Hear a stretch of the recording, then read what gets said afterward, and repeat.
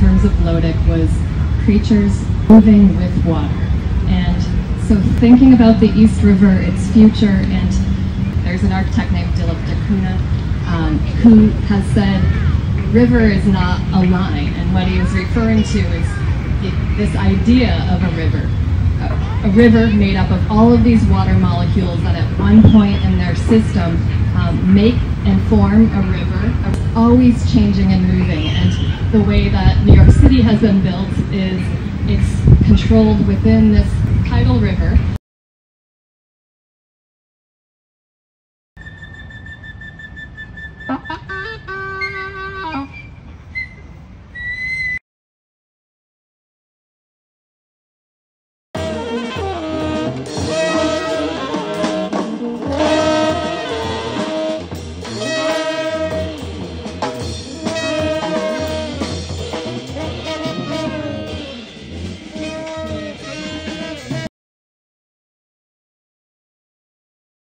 I didn't think could be grown with uh, salt water, but they can uh, tolerate uh, enough salt water to still survive and thrive, including kales, cabbages, tomatoes, uh, lots of vegetables that you would assume couldn't.